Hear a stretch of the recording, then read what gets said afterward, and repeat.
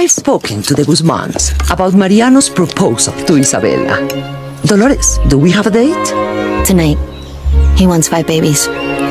Wonderful. Such a fine young man with our perfect Isabella will bring a new generation of magical blessings and make both of our families stronger.